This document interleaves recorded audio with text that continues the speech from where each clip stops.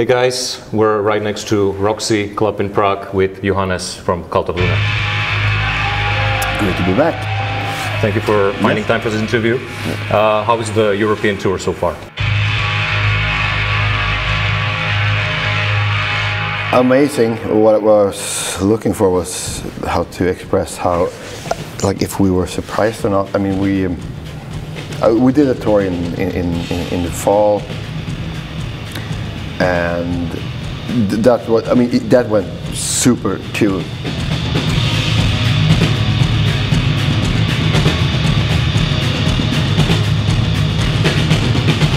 However, like you realize, like, wait, everybody's touring now. Mm-hmm. Like yeah, after the world ended, and like everybody started touring again. Like everybody toured.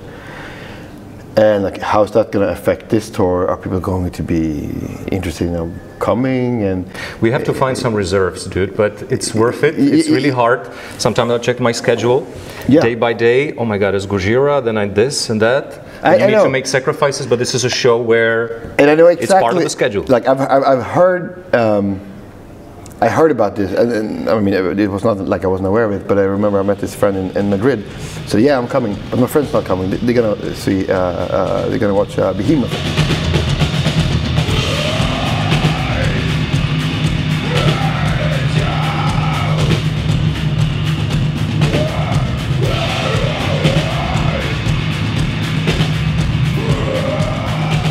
And also, that band is playing, and that like in Madrid the same night. Checked all these bands like tour schedules, and we weren't clashing every night, but like, you know,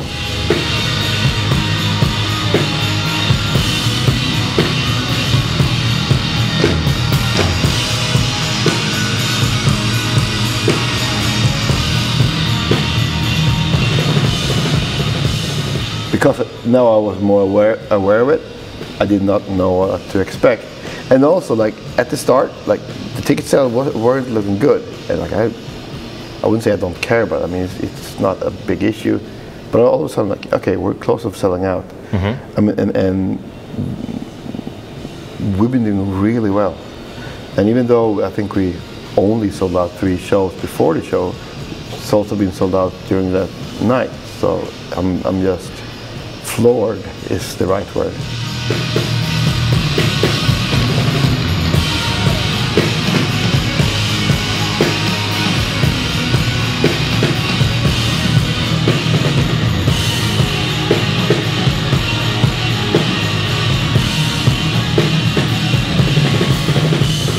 And also, let's not forget that we're tour- touring with two amazing bands that draw their own crowd. Um, so the package is amazing. I would go. I would go and see it.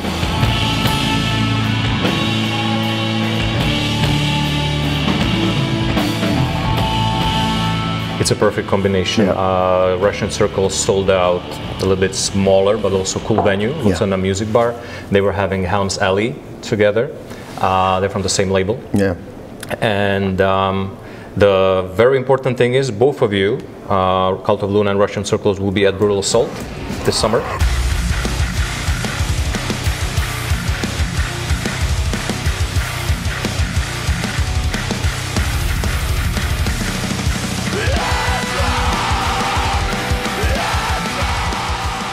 How does this really cool area that we love within the fortress, where you can hang, uh, hang out and also find some shade, Yeah. um, how does it fit for you within the European context, within the European competition? Is your like brutally honest question is how good it is compared to other festivals? I went to Hellfest, I went to Grass Yeah. Pop, but these are, you wait one hour for bathroom, one hour for Uh, expensive drink. I love. w- w- let's just start with Hellfest.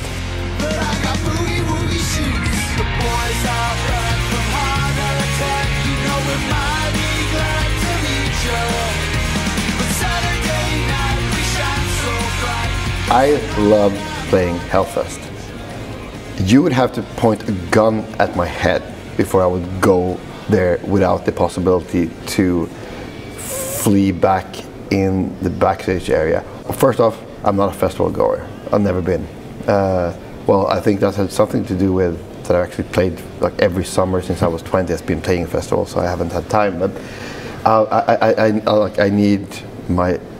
I'm a very social person, but I need to be, you know, like like I did before you guys picked me up. I like I just needed a couple of an hour f- by myself, so I went to the bus. I, I need that space, but being surrounded by 120, 100 plus thousand people, I could not stand it. I mean, so certain festivals have a cer- certain charm. Like I, again, I love Hellfest. I, I absolutely do, and their bill is insane every year. But brutal assault. Top, like yeah, I mean, like everything. okay, okay. Uh, what, what, what, band should we have? Could we have everyone? Yes. Okay, let's have everyone.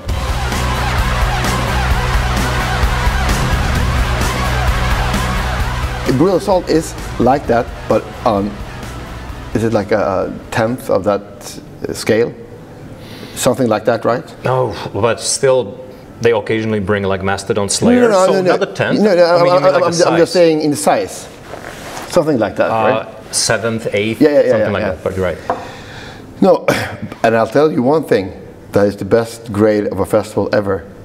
Um, I actually, both times, uh, I've been there two, three I think times. it was two times. I Yeah, saw something yeah, like really I- I- crazy because- 2013. Yes, when Meshuggah played, I actually went out in the in the audience and watched them, which is a good like. If I dare to do that, then it's a it's a good sized festival. I love Brutal Assault, and it's a it's a it's a weird slash very cool setting. And also, I've had one of the worst experience of my life. Well, it was it wasn't like anyone noticed, but yeah, I've, I've, At Brutal Assault, Yes, what happened, if I may ask? yes. Uh, you know, we were talking about drinking yeah, just before we started this, and um, like I'm not, I'm not a big drinker, and I also think if you're a, um, a musician, you're doing a job, and you should do your job as good as possible. Uh, I think it was 2013 or something like that. The same night as Meshuggah played, and I met Jens in the bar, and he gave me his drink. T- uh, he gave me his drink tickets, and I got hammered. The show went out went great, apparently.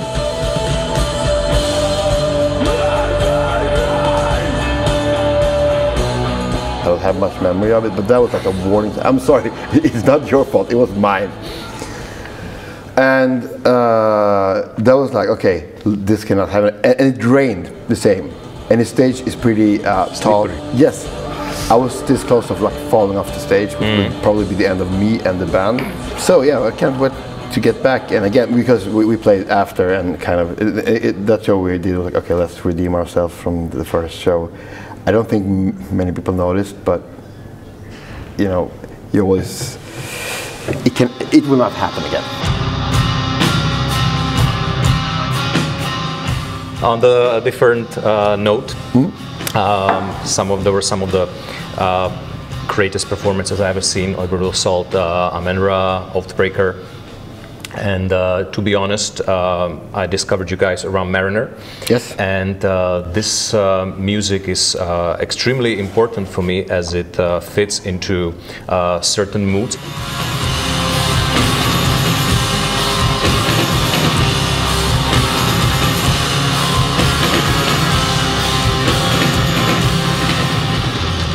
Especially when I need to go out from busy Prague and go around either to Czech mountains or Slovakian mountains. Yeah. Uh, have those 20, 25 kilometers walks, snow, get a little bit lost, then you have to find the route, and you somehow reach your physical and mental limits.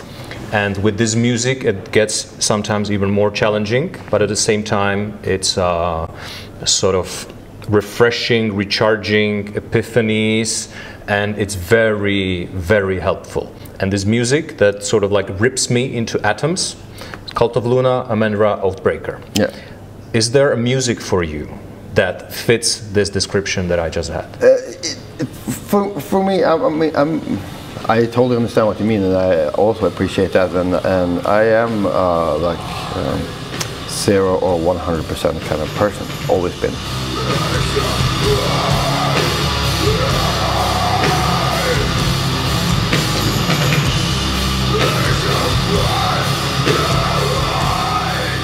It all depends on the setting.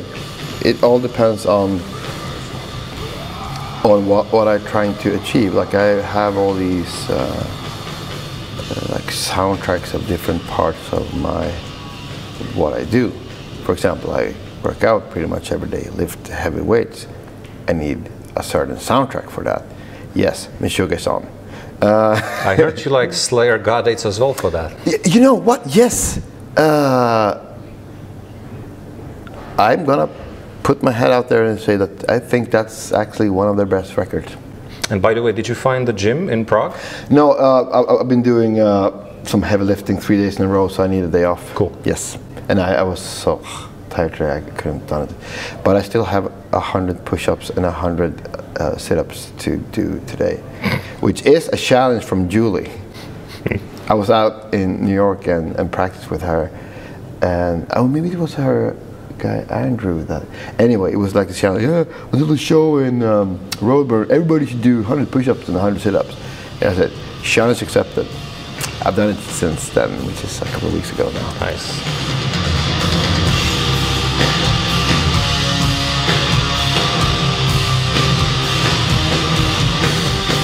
I guess you're fishing for like specific bands. And yeah, I could give you loads of bands, but not in the sense that okay, it's only because it's depending on the situation, the context. Like yeah, um, if I'm uh, like I'm, I'm writing a lot, which is uh, definitely a journey and travel in itself.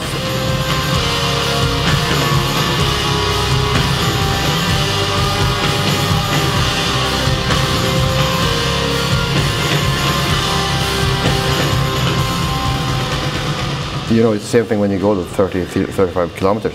That's fucking hard. Especially when you go in the mountains. And I mean, you're walking down the street, yeah, I can do like uh, five, six kilometers in, one hour. When you walk in the mountains, it's like, you should be lucky if you get three. Right. It, and it's much, much demanding for your legs.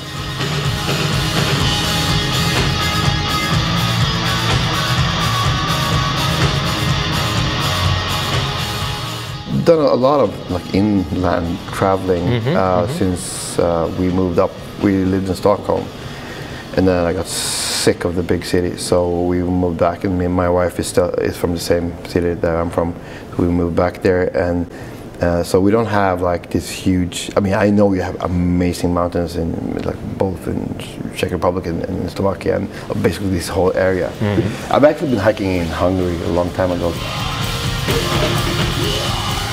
trying to get the kids to experience like our own country the same way that my dad uh, because believe me when they get older because it's not super expensive to go inland but they i will take them through europe too. Uh, and they're getting i mean i I want them to remember it. I would say all these inland travels uh, definitely without a doubt well literally has inspired me to write music. So i guess i mean it, it is this same thing but reversed.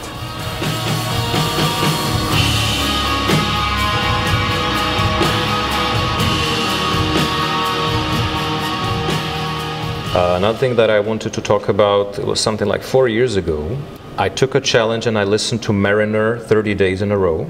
I was having an interview with Steven Wilson. Who, who, who wanted you to, to experience Wait, wait, I told you, I had an interview with Steven Wilson, Yeah, and yeah. he said, guys, imagine this, like, we're now so bloody spoiled. We, when we, when we were kids, we bought an album, and then we were, we had to listen to it, didn't Yep. have money for anything else. And then either you loved it and you got hooked, like Yes. I got, got hooked to Brutus uh, Unison Life. and then you maybe had a bad album, but like semi album you maybe didn't understand, but after two weeks you found something to appreciate. Yes. And then I occasionally, once in a while, I need a challenge, so I did that.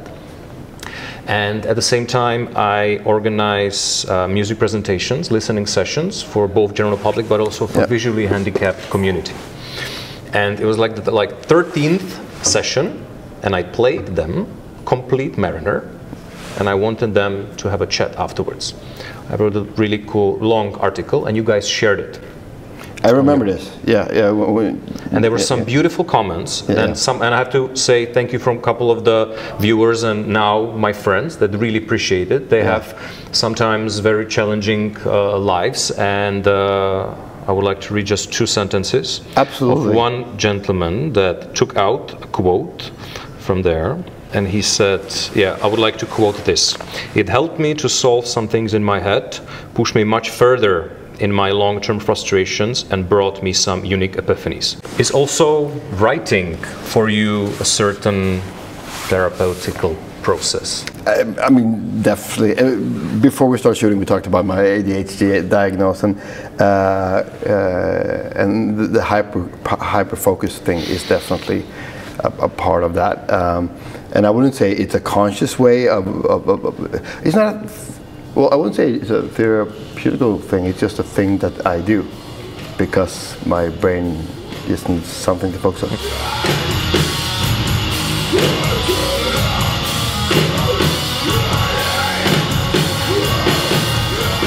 I am so. I thought about this the other day. I am so happy that I grew up during the time that I, when I grew up. Not only because of the thing that Steve, Steven Wilson said, because he's 100% correct. And of course, you know, you're, you're older and yeah, it was better before. I mean, I, I, I don't get into the, things like that. It is what it is now. We'll just have to deal with it. But he's right. You have to listen to stuff. And you start to appreciate things in ways.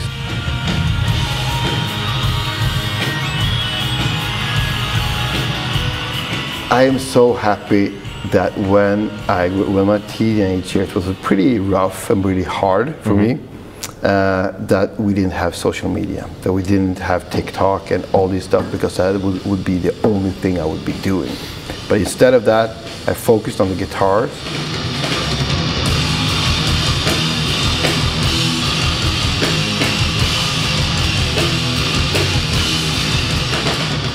I love this song. Why does it work? Like started analyzing. Okay, they do this, that kind of riff here, and then they go to that kind of riff and that, and they go back to that. And I had all these structures like for years. For two years, I pretty much locked myself in practice guitar.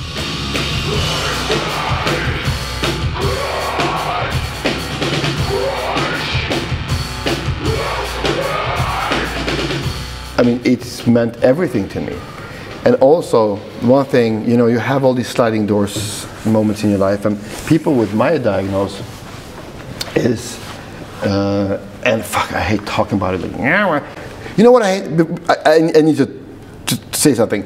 I don't like people that use their diagnosis as an like a in, individual mark. I don't. Right. I don't make excuses. I very rarely talk about it like I do. Like, We're going to talk about this in a year. You just yeah, discovered. Yeah, yeah, well, you know what? I never make excuses. You always have to. Yeah. What, I, what I'm saying is that I was managed to challenging all these like, you know, you know, the attention that goes.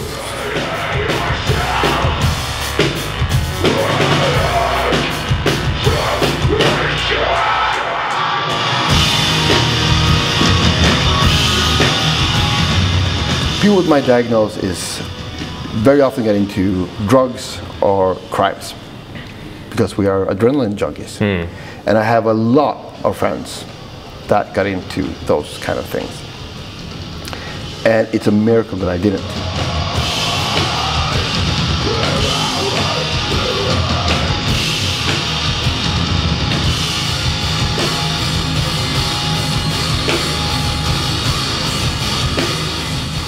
I wanted to create music. I wanted, I was doing that, and I had plans of I want to create a band, and like, okay, now we have a band. We're gonna make an album.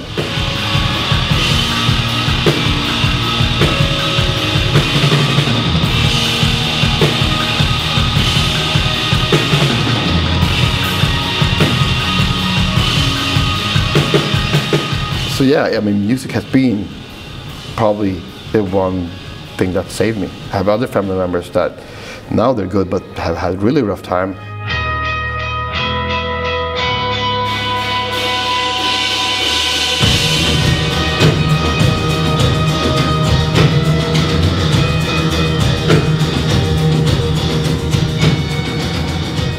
And I know if I'm going to say, I don't do things 50%. Right. I go all in. Right. And uh, that, that has never been something that I've felt attracted to because I've always had music. Even when I, when I hung out with them, I always went home, played the guitar.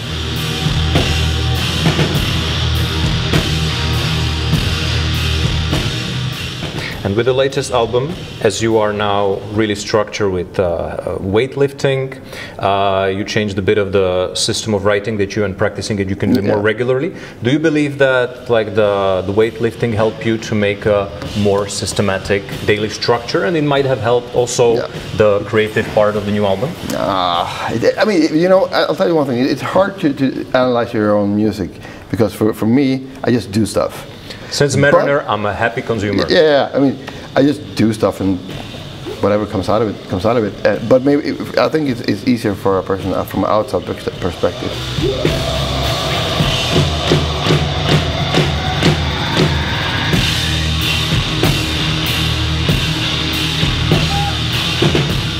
Doing weights is just a part of my days to get like a solid structure of it. I'm a sport shooter too. I shoot guns. Both those two things help me focus on nothing, which is the hardest part in my life.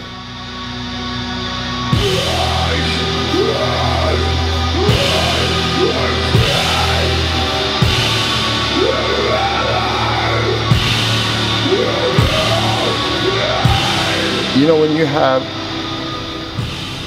200 kilo deadlift, you cannot start thinking about what any problems at work or anything like that. It's only that.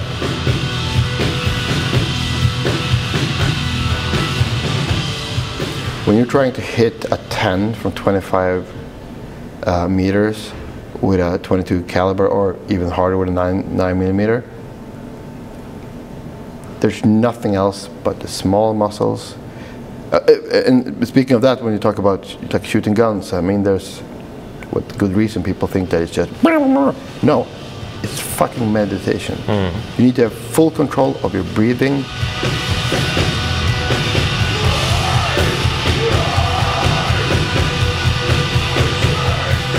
Why it's so important to me to do these things, like weight, uh, lifting weights, huge things, blah blah, shooting guns, small small muscles. Both these two mm-hmm. things. It, it's such a and also when it comes to guns like safety and all that you always, it's a lot of brain work.